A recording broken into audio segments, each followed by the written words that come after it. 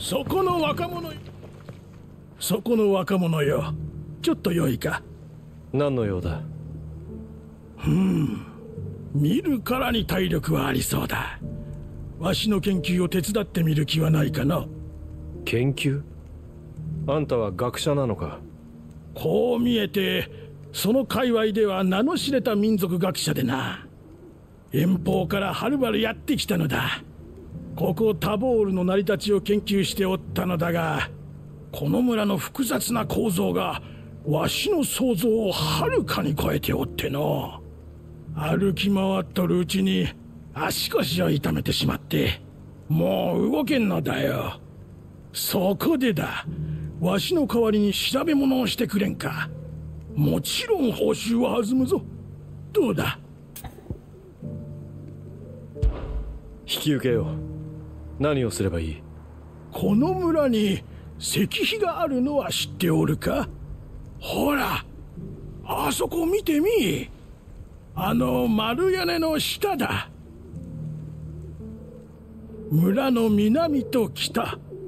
さらに東に一つずつある。あれには碑文が刻まれておるはず。何が書かれておるか確かめてきてくれ。その内容さえ分かれば研究もはかどるだろう。碑文か。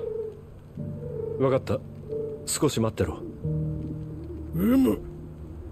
それでは頼んだぞ若者よ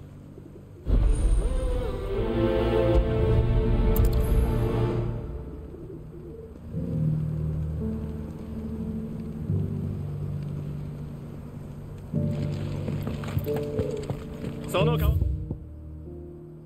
顔の靴履き心地はどうだい？最高だシリルさんって不思議な人だよな。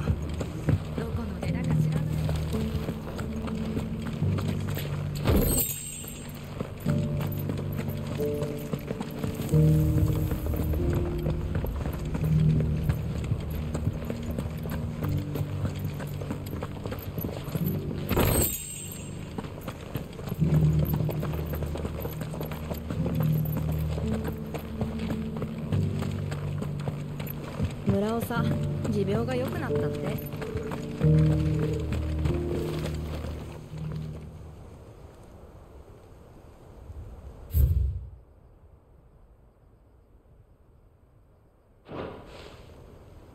遊牧民がここに移り住んだようだな。マリュドさんいつもお肉をありがとう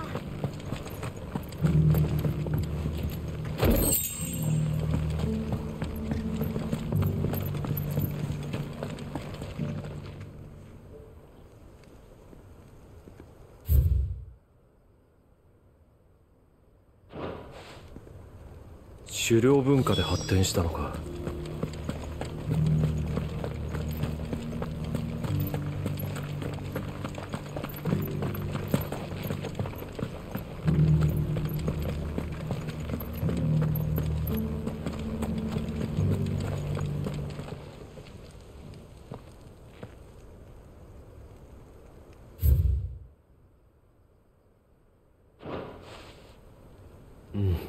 マザークリスタルの伝承か。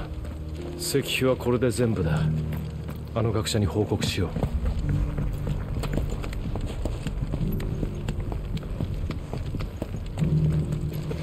その革の靴履き心地はどうだい？碑文を確認してきたぞ。さすがだな若者よ。仕事が早くて助かる。それでは早速碑文の内容を聞かせてもらうとするかなまずは南の石碑からだ。あれには何と書いておった？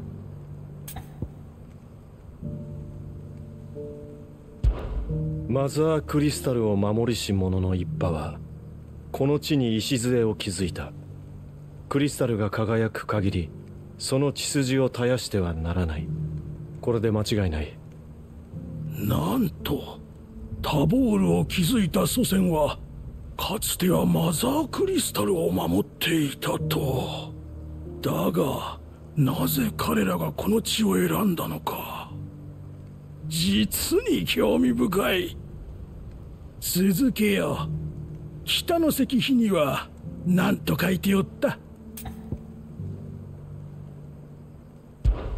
漆黒の海原を渡る遊牧民はこの辺りに海はないと思うが。そうだよな。ちょっと待ってくれ。黄金の平原を渡る遊牧民はこの地に安息を見出した。タボールにとどまりし後もその誇りは失ってはならない。確かこう書かれていたはずだ。ほう遊牧民族がこの地に居ついた。彼らの文化と混ざり合ったということだな。よし次で最後だ。東の石碑には何と書いておった。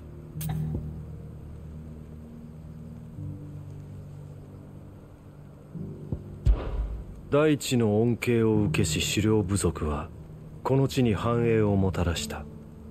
タボールを守りし万物の恵みに感謝を忘れてはならない。そう書かれていた。確かにタボールは狩猟文化によって支えられておる。それは外からもたらされたものだったのか。マザークリスタルを守りし者の一派と遊牧民そして狩猟民族か。しかも内容から察するにどうやらそれぞれ異なる民を指すようだ。このタボールの独特な文化は異なる文化が混ざり合ったがゆえかもしれんな。それにしても石碑ごとに異なる民のことを刻むとは研究のしがいがあるわい。役に立てたようだな。協力に感謝するぞ若者よ。約束の報酬だ。受け取ってくれ。